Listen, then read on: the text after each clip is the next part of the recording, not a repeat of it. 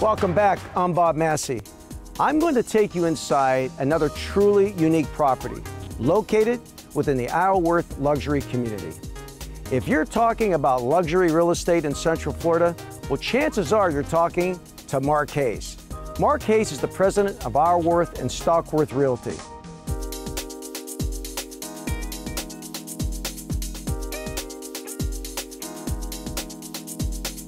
You know, each one you go through, they all have their unique features. This is what we call an iconic residence in Isleworth. What you're going to have here is a, a Tuscan estate with materials from all over the world. When you stand in front of this home, you can obviously see that the amazing detail that went in to the stonework, the faux painting, the windows, the lines, the roof, the landscaping.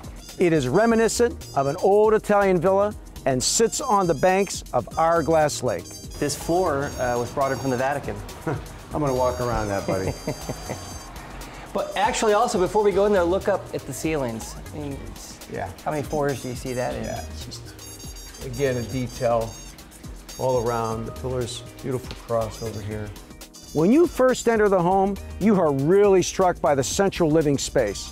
The great room reflects a truly elegant yet functional space for the entire family. And you can't help but find yourself staring at the ceilings. Hand painted and sandblasted cypress planks and beams are anchored by iron ties for a truly original look. Just amazing. Every room, the attention to detail. The columns. The large fireplace mantel and flanking columns are hand carved of Mexican limestone marble. To get to the master suite, you have to pass through an ornately designed iron gate.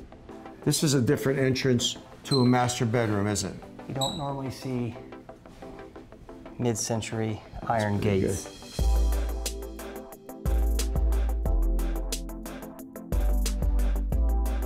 Wow. And, and, just look at the hand-painted wall. I mean, look at the attention to detail. You know, it's interesting because when you see these kinds of homes, and there's not many like them, by the way. No. You can't even imagine the amount of time it took to get the perfect home that they were looking for. The you know, land. We take it for granted because we're seeing it after the fact. Right, right. But the thought that went into it. Well, this family looked for the perfect plot of land you know, where it faced with the sun and with the water. This magnificent home has five bedrooms, six bathrooms, and more than 9,800 square feet.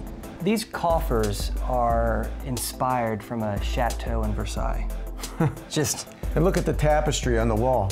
Again, just very European inspired, old world.